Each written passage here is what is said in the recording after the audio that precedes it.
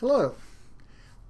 Today and each of the weeks, I'll be looking at the upcoming reading, uh, the stuff that you're supposed to be responsible for for the uh, by the end of the week, and um, I'll focus on five sort of things uh, in each group of reading. So for the first bit of reading, you only have to read the first part of chapter two. You might want to look at chapter one at some of the high points in chapter one just to give you that background. Um, you know, some of the points like what is a myth, what's mythological corpus, those sort of things that are addressed in chapter one. But mainly you're going to be reading the first part of chapter two, and that might seem like it's not that much of a reading, but Hesiod's Theogony, which makes up most of that, is in fact um, quite uh, a challenging work to read. So I do urge you to sort of get on that um, and definitely focus on what's in the Theogony. Uh, the other thing that I want to say about uh, that is if for some reason you don't yet have the textbook, there is in module the module for chapter two, there is a, um, a copy of the Theogony in a translation by um, M.L. West uh, that also has sort of like annotations. So, like in others, I, I copied and pasted it, and then I did annotations as footnotes. So it's a different translation than Lombardo's, Stanley Lombardo's, which is what you have in the textbook, but still it would cover the material and uh, it's a good translation, so it's worth looking at. I think Lombardo, who is himself a poet, I think captures some of that quality um, that, of course, West does not have in his prose translation. So we're going to look at five things uh, connected to um, the Theogony, um, a poem uh, by Hesiod. It's about 1,100 lines long. Um, if this were performed, uh, it would take I, maybe about 60 to 70 minutes to perform, to, to read aloud, um, or to perform it aloud if you had, you know, if you had it to memory. Um, so first of all, what did the world look like to Hesiod?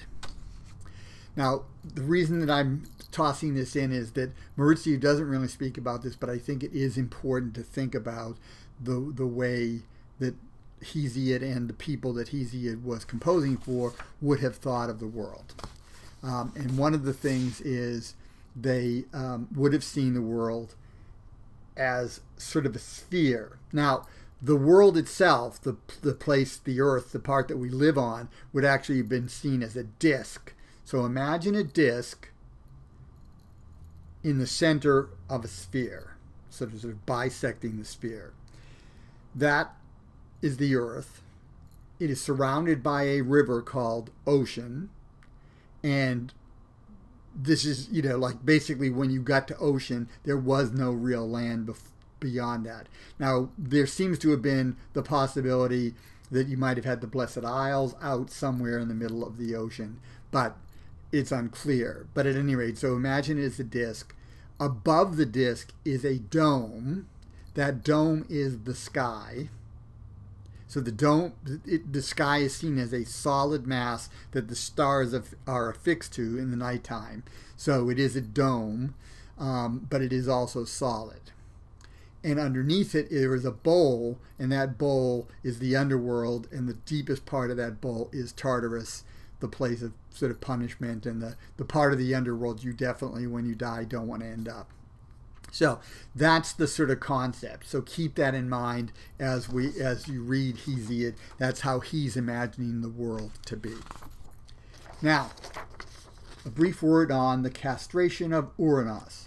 So the first god mentioned in um, in the Theogony is Ouranos. Uh, he's not the first one mentioned in the total poem because Zeus appears before um, listening to the muses sing.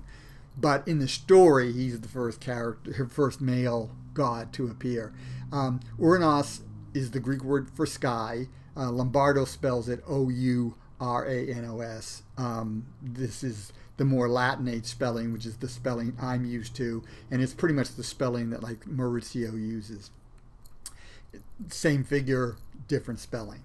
Now, so both are legitimate spellings. Ouranos, the sky god, he was given birth by Gaia, the Earth. So Earth gave birth to Sky. And then Sky was seen as a figure that matched Earth equally so that it Earth that, that Sky covered Earth. Now, Hesiod does not address this matter, but there are versions of the story where Sky and Earth are solid masses, one on top of the other. They're stuck in a coital, you know, position, sort of like dogs, and they can't get apart. Now the problem with that is any children that they have have nowhere to go because right they're stuck.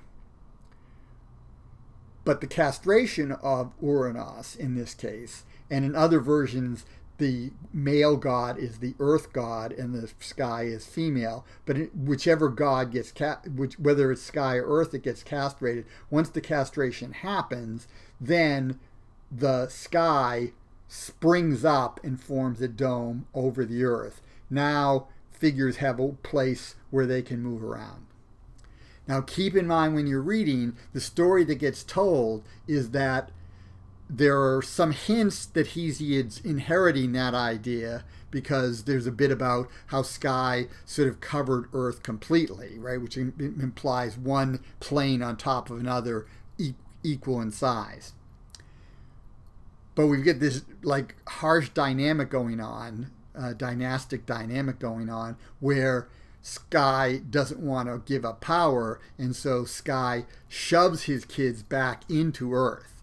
Well, if the original version was they couldn't come out because the sky and earth were stuck together, that's one thing. But Hesiod or his his tradition that he's representing want to emphasize that you had this one ruler, Uranos, who was cruel and also wasn't overly smart. Right? Because by basically causing Gaia pain, right, shoving kids back into a pregnant woman would cause all sorts of pain, mental as well as physical pain. This would be awful. And so Gaia is going to hate him, and all the kids who can't come out are going to hate him. So basically, Uranos is standing alone with everyone else allied against him. Well, in the short term, you know, he can do that for a while, but eventually something's going to happen. And of course, what happens is uh, Gaia convinces Cronus, the youngest of her, her children, the Titans, um, and um, gives him a sickle, and then he castrates uh, Uranos. Now, Cronus appears to have been an agricultural deity, hence the sickle, but in this case, he's using it to prune his father's genitals and then uh, throw them away, that thereby rendering him sort of unmanly and therefore no longer in power. Right, so that's the setup. Um, and there are other um, mythologies where you have this power dynamic between an older generation and a newer generation, and in some cases they involve castration. Um, so, you also have in this account, you have a different Aphrodite and a different Eros. Eros is the god of love. The Roman name is what we generally call him by Cupid. Um, the way most people think of Aphrodite and Eros is that Eros is the child of Aphrodite and Ares usually, while Aphrodite herself is the daughter of Zeus and Dione. But in, in Hesiod, Eros is one of the first gods to appear, right? In the first like half dozen gods, Eros is there. And Eros is pretty much defined as this urge to merge, right? The the the desire to hook up and reproduce right? So that's that driving force. Um, so Eros is actually older than Aphrodite. Aphrodite, in Hesiod's account, is produced not from Zeus, because Zeus doesn't even exist yet, but rather um, the uh, she comes out of the sea from the scrotal sac of uh, Uranos that had been tossed into the sea. So it starts bubbling up. She comes out of it, and then she sort of uh, travels over the waves and ends up ultimately on the island of Cyprus. She comes to Cythera and then she comes to Cyprus where she sort of walks onto the land and then grass starts growing. Um, that story is important for a couple things. One is it seems almost certain that Aphrodite probably was not originally a Greek deity, but the, the, the Greeks sort of inherited her from the Middle East. So there would have been gods like Ishtar, Inanna, and then there was this a god, goddess on Cyprus called Ashtart. Uh, all of those goddesses probably are sort of like variations that merge with the Greeks into Aphrodite. Now, in the poem, this idea that she sprung, springs out of the sea, which might be an original concept, is um, uh, you know is, is explained by Hesiod as giving her her name, saying that the name Aphrodite means from Aphrodite, the foam, the foam that gets produced when the scrotal sac lands in the sea, it starts to foam up that etymology for Aphrodite is false. I mean, we don't know what Aphrodite's name means. It does not seem originally to be a Greek name. So it's it's it's the Greeks adopt the name, but it seems to be actually probably not an Indo-European thing. They got it from their neighbors, and then um, tried to explain the name. Um, so keep keep all of that in mind with with um, Aphrodite, and the fact the fact that she in the story lands up on Cyprus, which was her main cult center uh, in ancient Greece. Uh, Cyprus is just off the coast of Phoenicia, so it is the it is the part of Greece that is the most connected to the to the Middle East, right to the Near East area, to to the Levant, and to Anatolia, to Turkey, which is right above it. Um, and in fact, it, you know, in the modern world, um, Cyprus has been under control of the Turks or under joint control of Greece and the Turks. So um, that connection on that island, although the island, the, the people who live on Cyprus speak Greek uh, and spoke Greek, uh, you know, for quite some time. So uh, that's, but her connection with that ties her to this whole Middle Eastern uh, and Anatolian idea of a fertility goddess. The story overall of the Theogony, which literally means the birth of the gods, is not so much about that, although the gods' births are mentioned, but it's about the rise of Zeus. If there's one story arc throughout the, the poem, it is the rise of Zeus. When we first see Zeus, he's listening to the muses tell these great songs and sing these great hymns about him. So he's listening to basically his press corps come up with like great stories about him. That's when we first see him. Then we get a story leading up to the fact that Cronus, the son of Uranus, overthrows him, but then Zeus, the son of Cronus, overthrows Cronus and then is in power. The Titans and the gods fight. That's the Titanomachy, and Zeus and the Titan, Zeus and his allies win. Uh, partly because Zeus was smart enough to ally himself with the Cyclopes and with the Hecatonchires, these sort of monster figures with a 100 hands uh, and 50 heads, because they provided uh, lots of like firepower for him.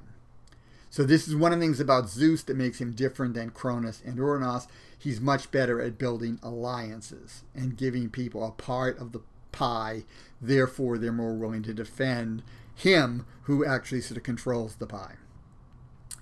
Um, so, um, and then after that happens, Gaia produces some monsters called giants, and giants seems to be connected to Gaia, right? Giants. You can see there's sort of a similar sim, similarity in the name.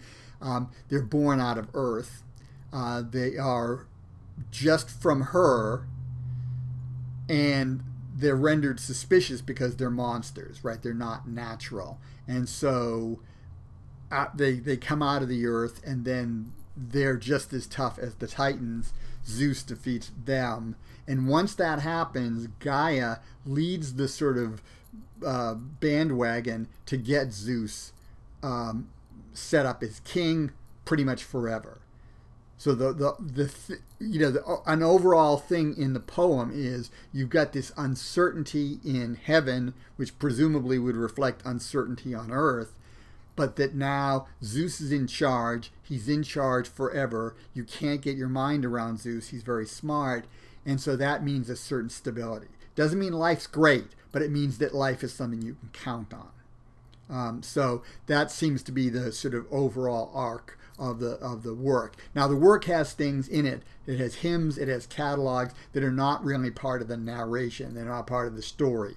But um, there is a story arc, I would argue, to the work, and it is the rise of Zeus. And one last thing that I want to talk about is the appearance of the muses. So Greek epic poets. These are poets who are, are, are composing in a, in a, verse form called dactylic hexameter. Uh, it's a long line. Uh, it's a very sort of stately sounding line. That is the that is the verse form that Hesiod would be using. It's the verse form that Homer is using. All of these epic poets and the Roman poets as well always invoke the muses. They always call on the muses to help them, the poet, tell the story because the muses know it and the, and the poet is sort of the, the conduit for that knowledge. Now, in this, we actually have the muses physically appear in the story to Hesiod, who is tending sheep. Now, a couple things about this. It is unlikely that Hesiod was actually tending sheep uh, as an adult and suddenly was inspired. Right? That seems to be a fiction. I think that this fiction is something that Hesiod probably used whenever Hesiod performed. And of course, he's an oral poet, right? The way people are getting his work is him performing it before an audience. It's there. No one's reading it in a book. You're reading a book. No one in the ancient world is reading a book. They're listening to some performer perform it. And so when Hesiod was performing, I like to think that this might have been his calling card. You know, why should you listen to me, Hesiod? Well, let me tell you the story. The muses appeared to me once, and they breathed their voice into me, and they gave me this laurel branch, uh, which you know indicates uh, like a walking stick made of laurel, which of course indicates the connection with Apollo, who's also a god of poets, and and it shows that I am a poet. I am a person who who can you know sing song, and uh, is why you should listen to me. So it sort of establishes his cred. He, he also has the muses insult him as a shepherd and says, you know, you shepherds are basically nothing but a bunch of pigs. You're just always eating all the time. You, you know, you're good for nothing. Again, that seems, I think that's part of the setup. If I'm nothing, but the muses are inspiring me, then what you're hearing can't be me because I'm nothing. It must be straight muse. So what you're getting is the source. You're get I'm just a conduit. And I think it's a setup for the audience to sort of get in the mood. Oh yeah, we're gonna hear something good now. Muses are just sending this stuff to this guy. He's like a, a you know a radio set, and he's just picking up these waves, and he's just going to deliver it as he as he hears it. Um, so it is sort of a convention. Um, now, for an oral poet like Hesiod or like Homer, um, the muses would be, would be very important. These are the goddesses of memory. They're the daughters of memory, and they're basically the goddesses that inspire the person performing to to be in the moment, to, to really listen to the story and deliver it. The worst thing that can happen to a bard would be for the bard to like get halfway through and say, "Yeah, no, now what?" I, I, there was something else I wanted to tell you, but I just don't know. That can't happen right? Once the performance starts, the performance has to go through. I don't know if you've ever seen like a classical music uh, performance where um, oftentimes if, if you're looking at a piano recital, um, the pianist will not have the music before the, the pianist is supposed to memorize the music and is just performing it. Um, I once saw a performance where, for whatever reason, the the pianist in the middle of the work basically lost his place, didn't know what was going on, and simply stopped, stood up, left the stage, didn't come back out and say, I'm sorry, but, you know, I'm just, it's just not. And the audience, you know, was sort of, uh, this was a free concert, so it wasn't like, you know, we were like, oh, I want my, my money back, but we were sort of upset and perturbed because the guy had some other options right? He could use improvisation to get him through a part where he was sort of had forgotten. And I know people who've done this. I've, I know I have friends who are who are you know pianists, and sometimes they said yeah, and sometimes like I forget a section of the thing, and it's about maybe a minute long, so I just basically noodle for a while, and then I get back to the music, and the audience generally doesn't notice. Okay, so the point is you got to be able to keep going. So calling on the muses is not entirely like just for show. Now later when we get to the Roman poets, the Roman poets are writing the poems out. They're taking a long time to write the poems out. So it's all very carefully crafted.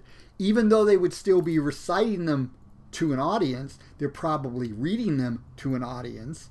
Um, so that you know they have the script in front of them and yet they still have this this convention of like let me call on the muses to help me come up with the names of all the people that Aeneas had to deal with and da, da, da, so it, it's the convention stays on but for a poet like Hesiod and a poet like Homer this is the real deal. Without that inspiration without that sense of you know the story and getting through that story um, the poet is going to fail.